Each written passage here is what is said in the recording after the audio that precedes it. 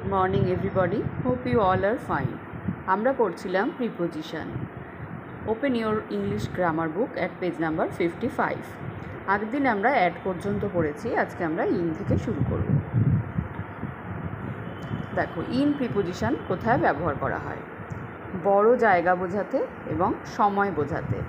বড় জায়গা, অর্থাৎ আমরা জানি যে কোনো বড় শহরের নামের আগে আমরা ইন বসাই। Ramu lives in Delhi sorry Ranu. Ranu lives in Delhi. Ranu দিল্লিতে বাস করে। দিল্লির আগে ইন বসানো হয়েছে। এটা একটা বড় জায়গা।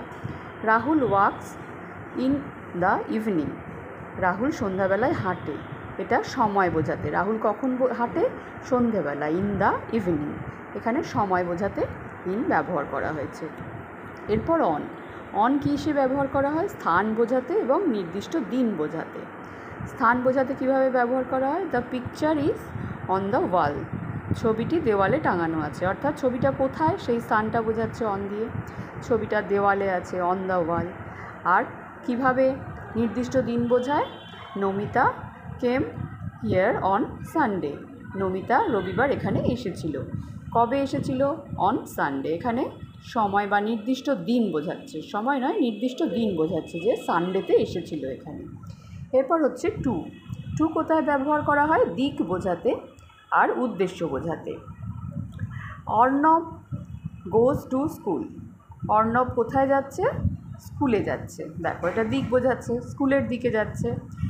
Subrata came to see me Subrata আমাকে দেখতে এসেছিল। এখানে কি বোঝাচ্ছে? উদ্দেশ্য বোঝাচ্ছে। অর্থাৎ সুব্রত কি করতে এসেছিল? টু সি মি আমাকে দেখতে এসেছিল। অর্থাৎ আমাকে দেখার উদ্দেশ্যে এসেছিল।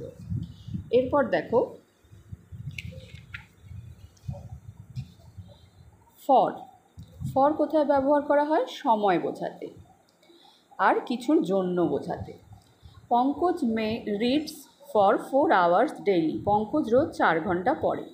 এখানে কি বোঝাচ্ছে? সময়। পঙ্কজ কতক্ষণ পড়ে? For four hours. তার পড়ার সময়টা বোঝাচ্ছে।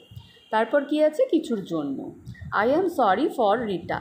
আমি রিতার জন্য দুঃখিত। আমি কিসের জন্য দুঃখিত? ফর রিটা। রিটার জন্য। তাহলে কি কি বোঝালো? সময় আর কিছুর জন্য। এরপর ফ্রম ফ্রম কী কোথায় ব্যবহার করা হয়? স্থান বোঝাতে এবং পার্থক্য বোঝাতে। Rahul comes from Patna. Rahul কোথা থেকে এসেছে? রাহুল পাটনা থেকে এসেছে। কোথা থেকে এসেছে সেটা বোঝাচ্ছে ফ্রম পাটনা।